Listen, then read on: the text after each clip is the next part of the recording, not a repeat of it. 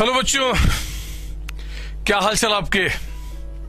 देखो, आप लोग को पता है कि हमारे एग्ज़ाम जो है, वो सीए का हो, चाहे सीएमए का हो, ये हमारे एग्ज़ाम पोस्टपोन होके आगे चले गए हैं। हमारे सीए वाले बच्चे, चाहे वो फाउंडेशन को हो, चाहे इंटर के हो, चाहे फाइनल के हो, उनका ये जो मे अटेम्प्ट था वो कैंसिल हो चुका है। अब वो नवंबर अटेम्प्ट में जाके मर्ज हो जाएँगे। इसका मतलब होता है कि जो भी कुछ आपने फ़ीस अभी पे किया होगा एग्जामिनेशन फ़ीस चाहे कुछ भी, वो सब कुछ क्या होगा? अगली बार आपका ऐसे ही काउंट होगा, कोई दिक्कत नहीं आएगी। दूसरी बात कि आपका अटेम्प्ट भी ये काउंट नहीं किया जाएगा और आपका कोई एग्जामिशन अगर है तो एग्जामिशन एज इट इज़ वो अगली बार फॉरवर्ड किया जाएगा। मतलब ये माना जाएगा कि आपका हमारे इस आईसीआई के अंदर नौ, मई में ये एग्ज़ाम हुआ ही नहीं है तो आपको उसी तरीके से आगे बढ़ना है। कुछ फ़ीस अगर आपने पे किया एग्जामिनेशन फ़ीस वो एज इट इज़ आपको कैरी फॉरवर्ड हो जाएगा। कुछ सवाल आपके दिमाग में उठते हैं। आप लोगों ने कई बार मुझसे पूछा भी है, मैं उसका जवाब आज देने के लिए आया हूँ। और साथ ही साथ जो हमारे सीएमए वाले बच्चे हैं, उनके साथ क्या स्ट्रेटजी होगा, वो क्या स्ट्रेटजी फॉलो करें, उसका भी एक सजेशन मैं दे रहा हूँ, करना आपने खुद है। इसलिए मैंने दोनों का लिख दिया कि आप किस स्टेज में हैं और आपको क्या अब करना चाहिए ताकि टाइम प्रॉपर तरीके से आपका यूज़ हो। देखो, पहले मैं बात करता हूँ अपने सीए वाले बच्चों का। सीए अगर आप फाउंडेशन में है और आपने मे अटेम्प्ट की तैयारी कर ली है मतलब जो बीत चुका, जो कैंसिल हो चुका कैंसिल नहीं बोलूँगा पोस्टपोन हो गया अब नवंबर में आपका एक्चुअली तो अगर आपने क्या किया है कि अगर इसकी पूरी तैयारी कर ली है तो मेरे हिसाब से मेरा सजेशन है कि अब आपको क्या करना चाहिए, अपने इंटर की तैयारी शुरू कर देनी चाहिए। अभी आपका ये जुलाई का महीना की शुरुआत हुई है। जुलाई, अगस्त, सितंबर, अक्टूबर, नवंबर में जाके एग्ज़ाम होंगे। मतलब लगभग चार, साढ़े चार महीने का टाइम पीरियड है। इतने टाइम पीरियड में अगर आपने बहुत अच्छी तरीके से पहले से सीए फाउंडेशन का रिवीजन कर लिया है, आपने स्टडी कर लिया है तो उसको चार महीने क्या रिवीजन करोगे कुछ समझ में नहीं आता। तो मेरे हिसाब से अगर आपकी तैयारी अच्छी हो चुकी है सीए फाउंडेशन की और आप श्योर हो कि हम पास करेंगे ही करेंगे। तो आपकी स्ट्रेटजी होनी चाहिए कि फाउंडेशन के जो पेपर्स हैं, उसका पर डे एक घंटे का आप टाइम डिवोट करो उनके रिविजन पे।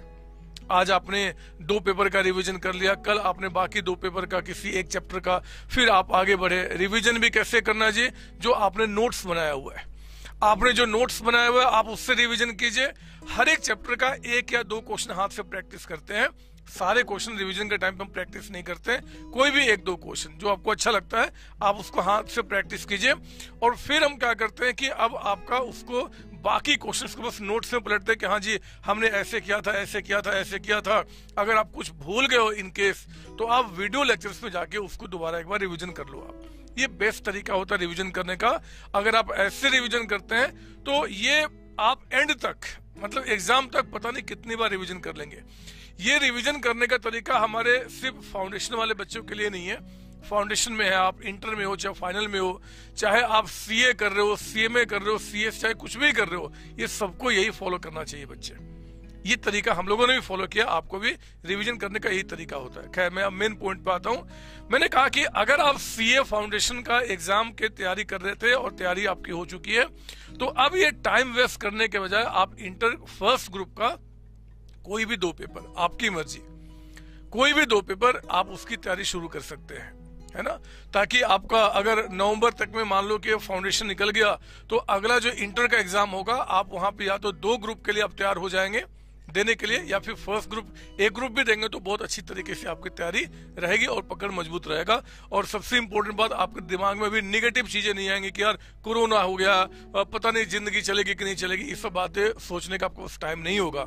आप अपना मेहनत करते चले जाएँगे। ठीक है ना? इस बात को आप ध्यान रखेंगे। कौन से दो सब्जेक्ट होगा, वो आपके ऊपर डिपेंड करता है। वो आप सोचे कि यहाँ पे कौन सा दो पेपर आप उन्हीं पेपर की तैयारी शुरू करना, जिनमें जनरली चेंजेस नहीं आते हैं। जैसे कि आपका लॉ है, आपका इनकम टैक्स है, इसमें चेंजेस आते रहते हैं तो आपका समझ गया कॉस्टिंग और अकाउंट्स आप इनमें से दो पेपर या कोई एक पेपर की तैयारी आप शुरू कर सकते हैं, ठीक है? ये हमने फाउंडेशन वाले बच्चों के लिए बताया। जो बच्चे सीए इंटर ग्रुप वन की तैयारी कर रहे थे ग्रुप वन की तैयारी कर रहे थे, उनको तो अब अगर लगता है कि ग्रुप वन की तैयारी मेरी हो चुकी है तो ग्रुप टू पे प्रोसीड कर जाना चाहिए। ग्रुप टू की तरफ़। क्योंकि मेरे बच्चे, नवंबर अटेम्प्ट के टाइम पे आपको दोबारा फॉर्म फिल करने का ऑप्शन दिया जाएगा कि आप ग्रुप वन का एग्ज़ाम देना चाहते हो या वन एंड टू दोनों देना चाहते हो। तो अगर आप कहते हो कि मुझे दोनों तो फिर दोनों का आप दे सकते हैं। जो एडिशनल फ़ीस होगा, आपका कुछ और भी अगर इंस्टीट्यूट लेता है तो फिर वो पे करके आप एग्ज़ाम देने के लिए एलिजिबल है। तो मेरे कहने का मतलब कि ग्रुप वन की तैयारी हो चुकी है, बहुत अच्छी तैयारी हो चुकी है। ग्रुप टू पे अब लग जाओ। ग्रुप टू पे। अगर आप सिर्फ़ ग्रुप टू का पेपर दे रहे थे तो ग्रुप वन पे लग जाइए। अगर आपका अभी तक ग्रुप वन क्लियर नहीं हुआ था तो। मतलब अगर प्लानिंग एक ग्रुप का था तो फिर आपको इस तरीके से करना चाहिए। अगर आपका सीए इंटर का ग्रुप वन निकल चुका है, सीए इंटर का ग्रुप वन निकल चुका है, और ग्रुप टू की तैयारी कर रहे थे आप, या ग्रुप टू निकल चुका है, वन की तैयारी कर रहे थे तो मेरे बच्चे, आपके पास अब कोई ज़्यादा ऑप्शन बचा नहीं है। आपको तो फिर आपको जो है उसी को और बेस्ट तरीके से बनाओ और आप श्योर कर लो कि अगला जो एग्ज़ाम होगा, हम उसमें पास करेंगे करेंगे। फाइनल की तैयारी शुरू करना ये किसी भी तरीके से फ़ायदेमंद आपके लिए भी नहीं है।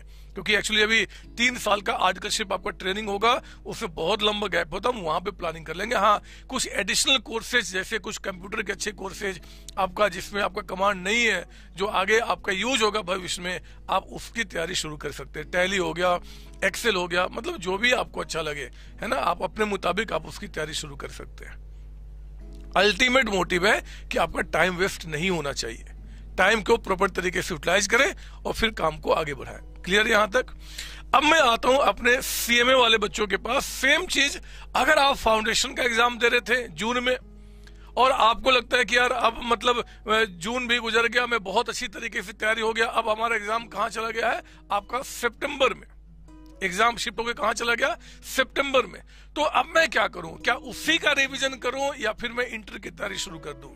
मेरे प्यारे बच्चों, अगर आप फाउंडेशन को बहुत अच्छी तरीके से तैयारी कर चुके हैं, क्योंकि ज़्यादा कुछ उसमें होता नहीं पढ़ने पढ़ाने के लिए तो आप इंटर की तैयारी शुरू कर सकते हैं, अगर आप बहुत अच्छी तरीके से प्रिपेयर है तो। नो no डाउट कि आपको भी क्या करना है पर डे बेसिस पे एक दो घंटे फाउंडेशन का रिवीजन और बाकी टाइम इंटर का कोई भी एक या दो चारों नहीं, मैं बार बार कह रहा हूँ चारों नहीं, कोई भी एक या दो पेपर जिसमें चेंजेस नहीं आते, आप उसकी तैयारी शुरू कर सकते हैं। ठीक है ना? ये फाउंडेशन वाले बच्चों की बात, अगर आपकी तैयारी फाउंडेशन की नहीं हुई है तो आपके लिए तो बहुत अच्छा मौका है जी। अभी हमें कहीं इधर उधर नहीं जाना, हमें ये जो एक्स्ट्रा टाइम मिला हुआ है, इसमें और अच्छी तरीके से पढ़ाई करके हम फाउंडेशन को क्लियर करेंगे, इस बात को इंश्योर करेंगे, फिर हमें किसी चीज़ की पढ़ाई नहीं करनी। किसी और मतलब इंटर की पढ़ाई नहीं करनी जो बच्चे हमारे इंटर ग्रुप वन का एग्ज़ाम दे रहे थे, और वो पूरी तरीके से इंटर ग्रुप वन की तैयारी कर चुके हैं। तो अभी जुलाई, अगस्त और फिर सितंबर आएगा, और पता नहीं, अभी कुछ कहा नहीं जा सकता, लेकिन सितंबर में भी एग्ज़ाम होंगे या नहीं होंगे, इसका कोई भी अभी मतलब उस पर एक्सपेक्ट करना अभी पॉसिबल नहीं है, जो हमारे देश में अभी सिनेरियो चल रहा है बच्चे कोरोना का कोरोना का। कोरोना कोरोना, ये तो बदमाश ऐसा भी हो गया कि पता नहीं कैसे कैसे नाम अब दिमाग में आने इसके शुरू हो चुके कोरोना का कोरोना का, है, कोरोना। तो मेरे कहने का मतलब है कि अगर आप मान लो इंटर ग्रुप वन की तैयारी अच्छी तरीके से कर चुके हैं टाइम वेस्ट मत करो। ग्रुप टू के कोई भी दो पेपर की तैयारी शुरू कर दो दो पेपर। ग्रुप वन का रिवीजन आपको ग्रुप वन में, रिवीजन में कम से कम दो से ढाई घंटे देने हैं। रिवीजन वैसे ही करना है, जैसे मैं वीडियो क्लास में हमेशा बताता हूँ, या अभी भी मैंने आपको बताया हुआ है कि सीए वाले बच्चे कैसे रिवीजन करेंगे, सेम तरीका आपको ही फॉलो करना है।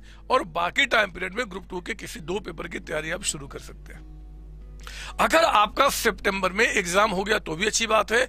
ग्रुप वन का पूरा का पूरा आपका रिवीजन है जी। अगर श्योर हो गया कि सितंबर में एग्ज़ाम होने वाला है तो पंद्रह दिन, बीस दिन पहले आप ग्रुप की, ग्रुप टू की तैयारी को बंद कर देना और ग्रुप वन का रिविजन को और फास्ट कर देना, अच्छी तरीके से एग्ज़ाम देना, आप पास कर जाएँगे। और मज़े की बात है कि ग्रुप टू का भी कुछ आपका ऑलरेडी आप तैयारी कर चुके हैं। सितंबर के बाद जो बाकी बचा हुआ चीज़ होगा या बाकी बाकी जो बचे हुए सब्जेक्ट्स होंगे, आप उनकी तैयारी करके अगले दिसंबर में एग्ज़ाम देने के लिए आप प्रॉपर तरीके से एलिजिबल होंगे। इवन सितंबर में एग्ज़ाम कैंसिल भी हो जाता है, तब भी आपको दिक्कत नहीं है।